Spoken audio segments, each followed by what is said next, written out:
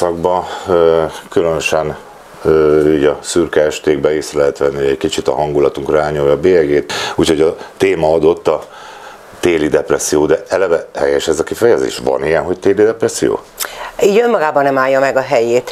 Tudni kell, hogy a depresszió az egy nagyon széles spektrum, van egy úgynevezett endogén depresszió, erről most nem beszélnék, ezek azok a mély depressziók, amikor az agy biokémiai folyamatai felborulnak. Ugye ennek már a, a kezelésében nagy részben a pszichiátereknek is döntő jelentőségük van.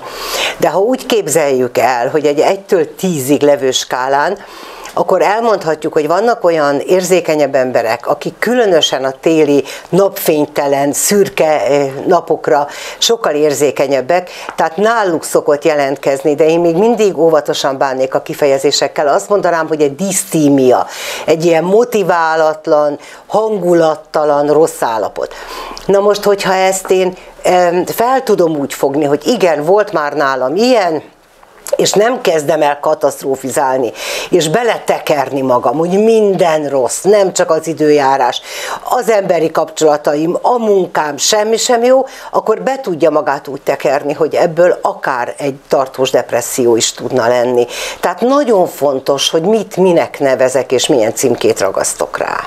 Hát akkor ha valaki érzékeli magán, mert azt hiszem van olyan, aki, aki tudja is, hogy télen esetleg ö, hajlamosabb, hogy visszajöjjön. Így van akkor mikor beszélhetünk igazáról depresszióról? Hogyha tartósá válik, tehát hogyha legalább két héten keresztül tartósá válik ez a nagyon nyomott hangulat, és egyre motiválatlanabb lesz, úgynevezett anhedónia, tehát semminek nem tudok örülni.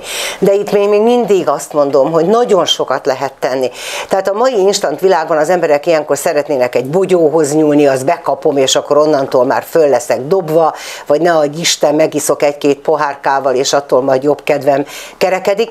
Ezek tűzoltások, és nem fognak megoldani tartósan semmit. Tehát egyet kéne megjegyezni, munkanélkül semmi nem megy, bele kell tenni az energiát. Két dolgot szeretnék kiemelni. Az egyik ez a túlgondolás. Amikor azt mondjuk, hogy agyalós vagyok, nem tudok megszabadulni a gondolataimtól, mindig jönnek ilyen negatív gondolatok, és abba így beletekeri magát. Tehát meg kéne tanulni, hogy a gondolat csak gondolat. Shakespeare már a Hamlet beleírja, hogy nincs a világon se jó, se rossz, a gondolataink teszik azzá. Tehát, hogyha én hol a múltamon kesergek, ami már régen elmúlt, és az árnyékolja be a napjaimat, vagy állandóan attól rettegek, hogy akkor most jön majd egy újabb variáns, egy újabb, stb., akkor nem tudom megélni a pillanatot, és nem tudok semmiből töltekezni. Tehát meg kéne tanulni, hogy a gondolat az csak egy gondolat, hogyha tudom azt én gondolatként kezelni, kellő perspektívából ránézni, akkor nem fogom magam beletekerni. Ez az egyik, ami nagyon fontos, a másik pedig hogy hogy hagyjak magamnak időt, hogy ülepedjenek a dolgok, tanuljak meg a pillanatban élni. Erre van ma már egy kifejezés a pszichológiának, ez a mindfulness, ez az éber figyelem. E, ezek nem bonyolult dolgok, mégis azt szokták mondani a pácienseim, hogy hú, hát ez nem is könnyű. Ennek az a lényege, hogy ott legyek, ahol vagyok. Ha eszek, akkor ne tévét nézek, ne a Facebookot tekerges, akkor egyek. Akkor azt arra használjam, és arra figyeljek, az ízekre, arra, hogy a környezetemre hol vagyok, hogy érzem magam. Ha kávét iszok, akkor azt ne csapjam be, mint egy felest, hanem úgy igyam, mint az életem első kávéját. Az összes ízt kiérezzem belőle, és adjam meg magamnak azt az öt percet. Lehet, hogy az egész rohanós napban ez az öt perc lesz a nyugalom, de ezzel alatt az öt perc alatt fel lehet töltődni. Tehát ha én benne vagyok a pillanatban, rettenetesen sokat tudok magamért tenni.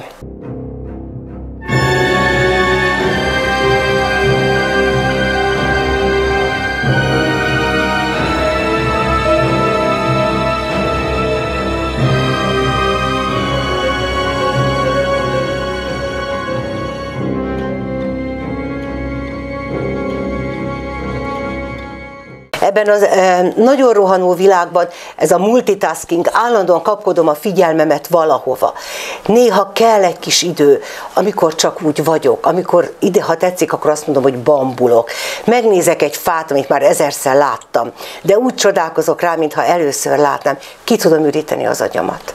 Fel, ezek ilyen kis mini szabadságok. Fel tudom tölteni magam, és tudom utána végezni a dolgomat. És egy napi 8 órás munkaidő alatt, ha 5-5 ilyen kis percecskét ki tudok magamnak szakítani, akkor a nap végére nem fogom úgy érezni magam, hogy kicsavartak, és megyek haza a családomhoz, meg a két gyerekemhez. Tehát, hogy, hogy oda kéne figyelni a saját töltekezésünkre, de mindig mástól várjuk. Majd, ha a másik úgy viszonyul hozzám, majd, ha a főnököm másképpen fog viselkedni, akkor én nekem más lesz az életem. Nem. Attól lesz más, hogy én mit teszek érte, hogy más legyen. Én hogy tudok más szemmel nézni a világra.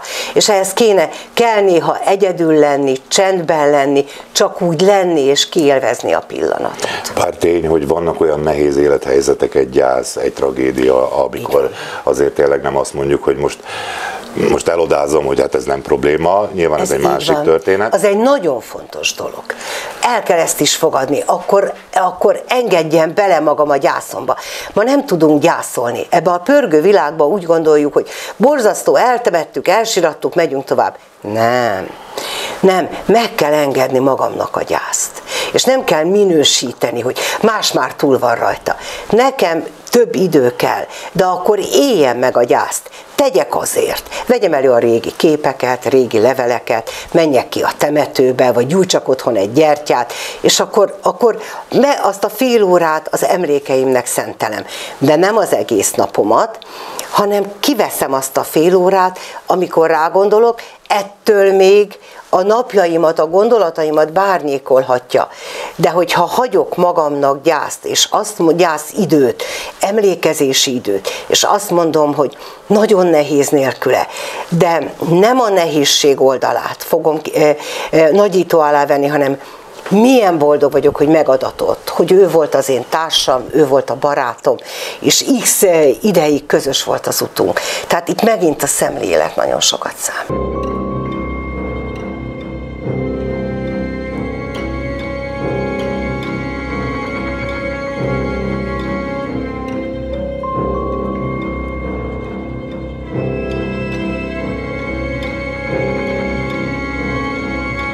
Tény, hogy, hogy délután négykor sötét van, már nem tudunk kimenni, mert ugye hideg, jég, stb. Tehát ezeket valamilyen szinten lehetne pótolni. Lehet ez egy szauna, vagy nem tudom, bármi, akinek így van, ami jó. Így van. Ez is egy nagyon-nagyon fontos kérdés. Azt szoktuk mondani, hogy akinek csak egy szerszáma van kalapácsa, az minden szegnek fog nézni. Tehát azok az emberek tudnak jól, jól lenni, a külső körülmények ellenére is, akiknek széles az eszköztáruk, akik tudnak örömet okozni maguknak, mondjuk egy jó könyvvel, egy szaunával, mozgással. A mozgás rengeteget tud segíteni, nem kell itt mindenkinek maratoni futónak lenni. De télen is tudok sapkát húzni, meleg kabátot venni és egy fél órát sétálni egész más hangulatban jön haza az ember egy fél órás séta után. Tehát, hogyha nem a fotelba ülök és kesergek, hanem megnézem, hogy mi az, ami nekem örömet tudna okozni, akkor, akkor nagyon jól ki tudom tölteni azt az időt, amit, amit most többet kell mondjuk a szobában tölteni, mint egy tavaszi-nyári időszakban. Csak ez azoknak megy, akinek vannak örömforrásai, aki szívesen hallgat zenét, szívesen elolvas egy újságcikket, vagy egy értelmes dolgot mondjuk az internetről. A másik másik problémát abban látom, hogy, hogy ugye nem olyan egyértelmű, mint egy megfázásnál, hogy akkor kapok rá gyógyszert, ez az oka, ez lesz, hanem hogy mi okozta a depressziót, lehet, hogy korábbra nyúlik vissza, lehet, hogy nem tudom, meddig fog elhúzódni. Tehát, hogyha ha eltelik már egy-két-három hónap, akkor már mindenképpen javasolt a szakember, vagy a gyógyszeres kezelés, ugye? Mindenképpen igen, de a gyógyszeres kezelés még mindig valami megelőzi. Tehát vannak ma már olyan jó gyógynövénykészítmények, eh, amelyeknek olyan összetevői vannak, amik pótol pótolják azokat, vagy tudják pótolni azokat a kémiai anyagokat, amelyek mondjuk a téli időszakban, vagy egyébként nem csak a téli időszakban az agyunk kevesebbet termel belőle. De ezért is tenni kell. Tehát tudnak segíteni a gyógynövénynek, akár te a formájában, akár más formában, de például a mozgás. A mozgás következtében endorfin termelődik a szervezetünkbe, és már ettől jobban vagyunk. És a mozgásban mondom, nem csak a maratoni futás van. Idős pácienseimnek szoktam elmondani, otthon is lehet lehet mozogni. Tehát egy biztonságos körülmények között, egy szép széktámláján megtámaszkodva, tehát bármi, ami izommozgással jár. És kicsit el vagyunk kényelmesedve, mindig kívülről várjuk, készen várjuk a dolgokat, hogy oldódjanak meg. Tenni, tenni és tenni.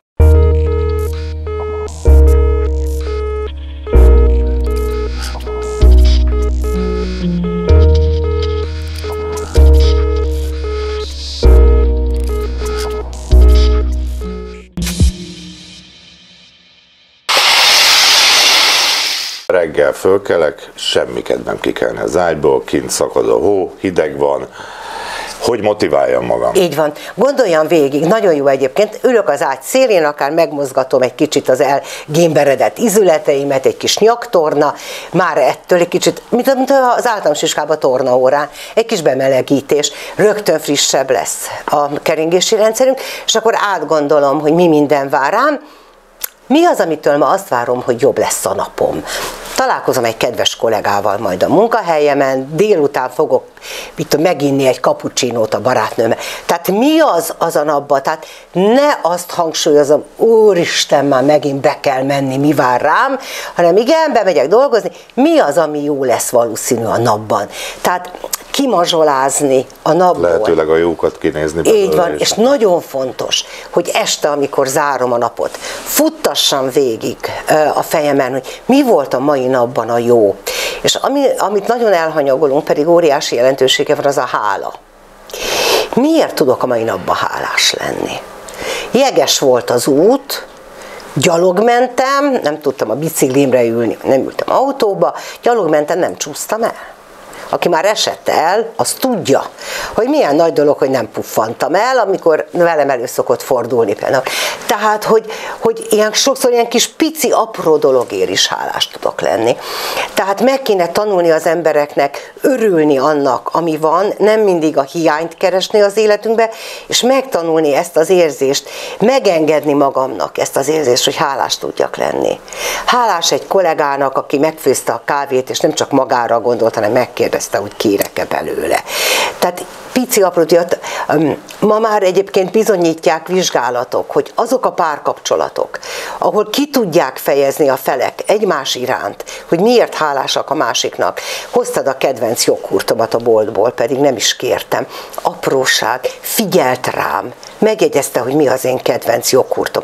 De hogyha erre nem csak az a válaszom, hogy köszi, hanem hálás vagyok neked, hogy, ezt, hogy eszedbe jutott. A kapcsolat minősége mérhető módon, szignifikáns módon javul.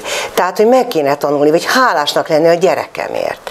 Ma nem kellett neked imádkozni, hogy felkelj reggel, hálás vagyok, hogy gördülékeny volt a reggeli indulás. Hogy magadtól ültél -e délután tanulni, nem kellett veszekednünk a verstanulás miatt. Ki lehet fejezni a gyerek fele, és a gyerek megtanulja, mintát kap arra, hogy hogyan lehet kifejezni az örömömet, az elfogadásomat, a szeretetemet a másik ember iránt.